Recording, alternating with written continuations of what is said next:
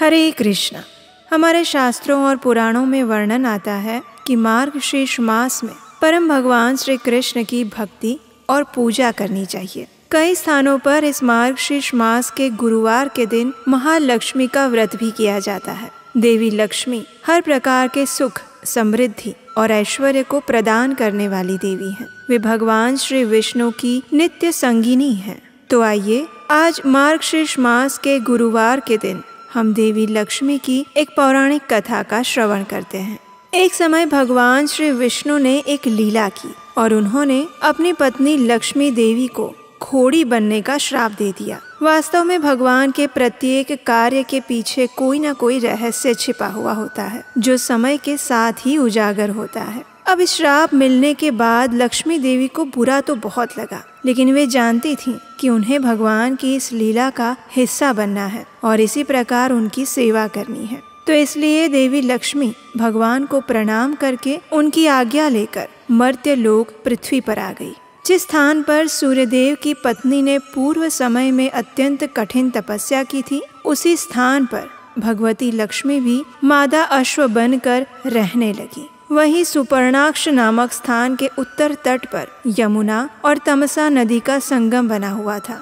उस संपूर्ण मनोरथों को पूर्ण करने वाले उस स्थान को सुंदर वन सुशोभित कर रहे थे और वहीं पर रहकर देवी लक्ष्मी, जो कि सबकी कामनाएँ पूर्ण करती हैं और जिनका मस्तक चंद्रमा से सुशोभित रहता है, उन्होंने भगवान शिव की आराधना करने का निर्णय लिया, जिनका कंठ नीला है और तीन नेत्र हैं। जो व्याघ्र का चर्म पहनते हैं। भगवती गौरी जिनकी अर्धांगिनी बनकर शोभा वृद्धि करती हैं, उन भगवान शंकर के ध्यान में लक्ष्मी देवी संलग्न हो गई। उन्होंने अत्यंत कठिन तपस्या की। उनके मन में पूर्ण वैराग्य उत्पन्न हो गया। देवताओं के हज़ार वर्ष तक उनकी ये तपस्या चलती रही। और फिर एक समय भगवान शंकर उन पर प्रसन्न हुए और बैल पर आरूढ़ होकर उनके समक्ष उपस्थित हुए। उन्होंने घोड़ी के स्वरूप में विराजमान देवी लक्ष्मी से कहा, हे कल्याणी, आप क्यों तपस्या कर रही हैं? कृपया मुझे इसका कारण बताएँ। आपके पतिदेव तो संपूर्ण मनोरथों को पूर्ण करने में सक्षम है। अखिल लोक के स्वामी हैं। हे देवी, श्री हरि तो जगत के नियंता हैं ऐसे मुक्ति प्रदान करने वाले जगत के प्रभु भगवान वासुदेव को छोड़कर आप मेरी आराधना क्यों कर रही हैं? पति की सेवा करना ही स्त्रियों के लिए सनातन धर्म माना गया है हे कल्याण की अभिलाषा रखने वाली स्त्री, आपको सदैव उन्हीं की सेवा में तत्पर रहना चाहिए और फिर नारायण तो सबके लिए निरंतर परम पूजनीय है फिर आप मेरी उपासना क्यों कर रही हैं? भगवान शिव की ये बातें सुनकर देवी लक्ष्मी ने कहा, हे आशुतोष, हे दया सिंधु, मेरे पतिदेव ने मुझे श्राप दिया है। आप कृपया मुझे उस श्राप से मेरा उद्धार करें। हे शंभो, उन्होंने इस श्राप से छुटकारा पाने का उपाय भी बताया था और उन्होंने कहा था कि जब मुझसे कोई पुत्र उत्पन्न होगा, तभी मैं इस श्राप से मुक्त होकर पुनः वैकुंठ में जा पाऊँगी। इसलिए हे भगवान मेरे पति देव के इस प्रकार कहने पर मैं तपस्या करने के विचार से इस तपोवन में आ गई हूँ। संपूर्ण मनोरथों को पूर्ण करने वाले आप परम प्रभु को मैंने अपना आराध्य बना लिया था। इस समय मैं अपने पति के सानिध्य से वंचित हूँ। मुझ धर्म पत्नी को छोड़कर वे वैकुंठ में विराज रहे हैं। तो फिर उनके अभाव में मैं पुत्रवती कैसे हो सकती हूँ? हे देवेश, यदि आप प्रसन्न हैं तो कृपया मुझे वर देने की कृपा करें। हे गिरिजा को प्रेम प्रदान करने वाले प्रभु, मैं जब अपने पति के पास थी, उस समय से ही मुझे एक रहस्य ज्ञात है, और वो ये है कि जो आप हैं, वही वे हैं, और जो वे हैं, वही आप हैं। इसमें कोई संदेह नहीं है। आप दोनों महानुभाव एक ही हैं। यही समझकर मैंने आपका चिंतन किया है। ये सुनकर भगवान शिव ने कहा हे देवी, मैं और श्री हरि बिल्कुल एक हैं। इस रहस्य के बारे में तुम्हें कैसे पता चला? देवता, मुनि, ज्ञानी और वेद के पारगामी पुरुष भी तर्क वितर्क में पड़े रहकर इस एकत्व के रहस्य को नहीं समझ पाए हैं। मेरे कई भक्त भगवान विष्णु की और उनके भक्त मेरी निंदा करने में सदैव तत्पर रहते हैं। विशेषकर कलयुग में इस बात की बड़ी विशेषता रहेगी। लेकिन हे भद्रे हम दोनों में वास्तव में सम्यक प्रकार से एकता है। ये रहस्य तुम कैसे जान पाई? भगवान शिव की जिज्ञासा को सुनकर देवी लक्ष्मी ने कहा, हे प्रभु, ये उस समय की बात है जब भगवान विष्णु एकांत में पद्मासन में स्थित होकर ध्यान कर रहे थे। जब वे इस प्रकार तपस्या कर रहे थे तो उन्हें इस प्रकार देखकर मुझे अत्यंत आश्चर्य हुआ। कुछ समय बाद उनकी समाधि टूट गई। उनके मुख पर प्रसन्नता की किरणें झलक रही थी, और तब मैंने समय को अनुकूल जानकर उनसे पूछा, हे प्रभु, आप देवताओं के अध्यक्ष और जगत के स्वामी हैं। जिस समय देवता, दानव, ब्रह्मा, प्रभुति सबने मिलकर समुद्र का मंथन किया था और जब मैं उससे निकली थी, तब मेरे मन में विचार आया कि किसको पति चुनूं। अतः मैंने सभी ओर दृष्टि दौड़ाई और उस समय आप ही संपूर्ण देवताओं में श्रेष्ठ हैं। इस निर्णय पर पहुंचकर मैंने आपको ही अपना पतिदेव चुना। फिर आप किसका ध्यान कर रहे हैं? जब मैंने अपने पति भगवान श्री हरि को इस प्रकार पूछा तो मेरे पतिदेव भगवान विष्णु ने कहा, हे प्रिय, मैं हृदय में जिनका ध्यान कर रहा हूँ, वो और कोई नहीं। अपितु पार्वती पति भगवान शंकर हैं। तुरंत प्रसन्न हो जाना उनका स्वाभाविक गुण है। उनके पराक्रम की कोई सीमा नहीं। कभी तो ऐसा होता है कि त्रिपुरासुर का वध करने वाले वे देवेश मेरा ध्यान करते हैं और कभी मैं उनका ध्यान करता हूँ। उनका प्रिय प्राण मैं हूँ और मेरे प्रिय प्राण वो हैं। हम दोनों का चित्त परस्पर एक दूसरे में गूंथा हुआ है। अतः हम दोनों में कोई भेद नहीं है। जो भगवान शंकर से द्वेष करते हैं, वे मेरे भक्त ही क्यों ना हो? लेकिन नरक में जाना उनके लिए अनिवार्य बन जाता है। इस प्रकार मेरे स्वामी ने मुझे ये सारा वृत्तांत और रहस्य कह सुनाया था। इसलिए हे पार्वती पते शंभो, मैं आपको श्री हरि के अभिन्न प्रेमी जानकर ही आपका ध्यान कर रही हूँ। आप मुझ पर ऐसी कृपा करें कि किसी प्रकार मेरे पतिदेव का मिलन मुझे सुलभ हो जाए। इस प्रकार लक्ष्मी जी का कथन सुनकर भगवान शंकर ने मधुर वचनों से उन्हें आश्वासन देते हुए कहा, हे hey देवी, धैर्य रखो। मैं आपकी तपस्या से अत्यंत संतुष्ट हूँ। आपके पतिदेव आपसे अवश्य मिलेंगे और उसमें कोई संदेह नहीं है। वे जगदीश्वर मुझसे प्रेरित होकर आपकी कामना पूर्ण करने के लिए अश्व का रूप धारण करके यहीं पर पधारेंगे। आप उनके जैसे पुत्र की जननी अवश्य बनेंगी। आपके पुत्र के सामने सभी लोग मस्तक झुकाएँगे और वो भूमंडल का राजा होकर रहेगा। हे महाभागे, पुत्र प्रसव करने के पश्चात आप तुरंत अपने पतिदेव के साथ वैकुंठ चली जाएँगी और पुनः आपको उनकी प्राण प्रिया रूप में रहने का सौभाग्य सुलभ हो जाएगा। आप दोनों का वो पुत्र एक वीर नाम से प्रसिद्ध होगा और उसी से भूमंडल पर हय हय संज्ञक क्षत्रियों की वंशावली आरंभ हो जाएगी। इस प्रकार देवी लक्ष्मी को वरदान देकर गौरीपति भगवान शंकर, पार्वती सहित अंतर ध्यान हो गए। देवी लक्ष्मी वहीं रहकर भगवती जगदम्बा के अत्यंत मनोहर चरण कमल का ध्यान करते हुए अपने पति देव हय का रूप धारण करके यहाँ कब आएँगे, उसकी प्रतीक्षा करती रही और अपने पति की स्तुति करती रही। भगवान शंकर ने कैलाश पर्वत पर पहुँचते ही परम बुद्धिमान चित्र रूप को दूत बनाकर देवी लक्ष्मी का कार्य सिद्ध करने के लिए वैकुंठ में भेज दिया। भगवान शिव ने कहा, हे चित्र रूप तुम इसी क्षण श्री हरि के पास जाकर उनसे मेरी बातें कहो। तुम्हें ऐसा प्रयास करना चाहिए जिससे वे अपनी पत्नी श्री लक्ष्मी देवी का शोक दूर करने में प्रयत्नशील हो जाएँ।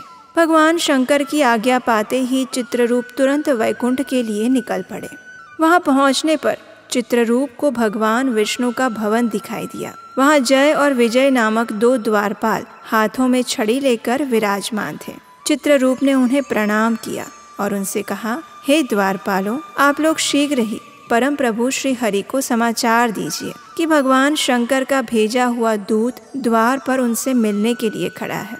चित्ररूप की बात सुनकर परम बुद्धिमान द्वारपाल जय अंदर चले गए। श्री हरि को प्रणाम करके उनके सामने उपस्थित हुए और उनसे कहने लगे, हे देवाधिदेव, हे रमाकांत, इस समय भगवान शंकर का एक दूत आया हुआ है। अगर आप आज्ञा दें तो मैं उसे यहाँ पर ले आऊँ। मैं नहीं जानता कि वो किस कामना से आया है, लेकिन उसका नाम चित्र रूप है।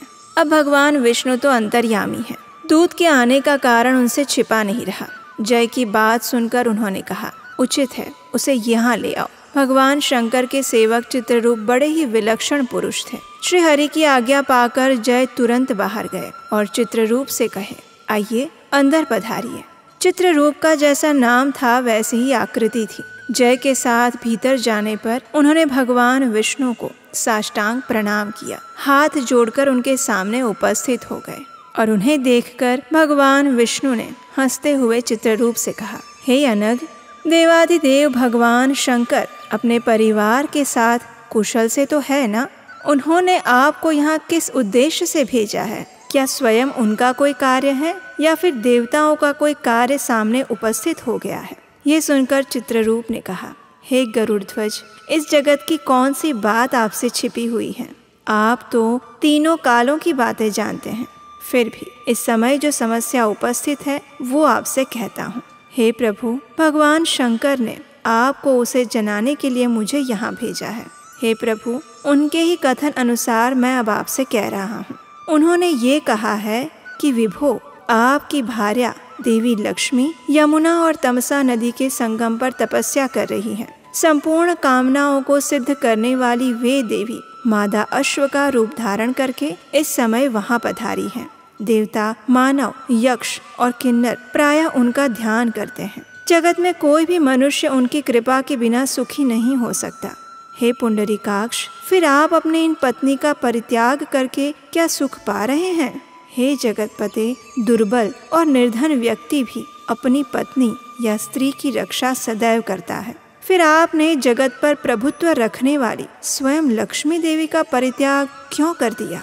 हे जगत गुरु जिसकी भार्या जगत में दुख से समय व्यतीत करती है, संसार में उसके जीवन को धिकार है। शत्रु भी ऐसे व्यक्ति की निंदा करते हैं। आप अपनी पत्नी से दूर हैं। ऐसी स्थिति में अत्यंत उदास उन देवी को और आपको देखकर स्वार्थी शत्रु दिन रात प्रसन्न हो रहे होंगे। हे देवेश, देवी लक्ष्मी में सभी शुभ लक्षण विद्यमान हैं, इसलिए उचित तो यही है। कि वे आपके पास रहें और उनके साथ आपका आनंद पूर्वक समय व्यतीत हो। हे प्रभु, आप महाभागा देवी लक्ष्मी के पास जाइए। उन्हें आश्वासन देकर अपने स्थान पर ले आए। जगत में किसी की भी सत्ता देवी लक्ष्मी के बिना स्थिर नहीं रह सकती। आप कृपया अभी अश्व का रूप धारण करके रमा देवी के पास पधारे। पुत्र उत्पन्न हो जाने के बाद उन देवी को लेकर वैकुंठ में आ जाए। इस प्रकार चित्र रूप की बात सुनकर भगवान विष्णु ने कहा, ठीक है, ऐसा ही होगा। उन्होंने चित्र रूप को शंकर भगवान के पास जाने की आज्ञा दी। दूध के चले जाने पर भगवान विष्णु ने सुंदर अश्व का रूप धारण किया और वैकुंठ से चल पड़े। लक्ष्मी देवी ने भी अश्विनी का रूप बनाकर जहाँ तपस्या कर रही थी, उस स्थान पर वे पहुँच गए। वहाँ जाकर देखा तो लक्ष्मी देवी वहाँ अश्वी रूप में विराजमान थी। देवी लक्ष्मी की दृष्टि भगवान विष्णु पर पड़ी। वे तुरंत पहचान गई कि यही मेरे पतिदेव साक्षात विष्णु हैं, जो मुझ पर कृपा करने के लिए अश्व का रूप धारण करके आए हैं। उनकी आँखों में आँसू छलक आए। यमुना और तमसा के संगम को सभी लोग पवित्र मानते हैं और उसी स्थान पर भगवान विष्णु और देवी लक्ष्मी का पुनः मिलन हुआ। देवी लक्ष्मी ने वहीं पर एक अनुपम गुण संपन्न सुंदर पुत्र को जन्म दिया। भगवान विष्णु ने देवी लक्ष्मी से कहा, हे देवी, अब आप अश्वी का शरीर त्याग कर पूर्ववत अपना दिव्य देह धारण कर लें और हम दोनों अपने वास्तविक दिव्य शरीर के साथ वैकुंठ में पुनः लौट चलेंगे। आपके द्वारा उत्पन्न हुआ ये पुत्र यहीं पर रहेगा। उसके बाद भगवती लक्ष्मी और भगवान नारायण ने अपने अपने दिव्य शरीर धारण करके एक उत्तम विमान पर विराजमान हुए। देवताओं ने यशोगान करना आरंभ किया। उस समय भगवती लक्ष्मी ने उन प्राणपति श्री हरि से कहा, हे नाथ, कृपया इस बालक को भी हमारे साथ ले चलिए। मैं इसका त्याग नहीं करना चाहती। आपके समान प्रतिभा युक्त ये मेरा पुत्र प्राणों से भी अधिक प्रिय है। क्या हम इसे अपने साथ लेकर नहीं जा सकते? तब भगवान श्री हरि ने कहा, हे प्रिय, इस अवसर पर खेत प्रकट करना तुम्हारे लिए अवांछनीय है। ये बालक आनंद पूर्वक यहाँ रह सकता है, क्योंकि इसके भरण पोषण की व्यवस्था पहले से ही मैं कर चुका हूँ।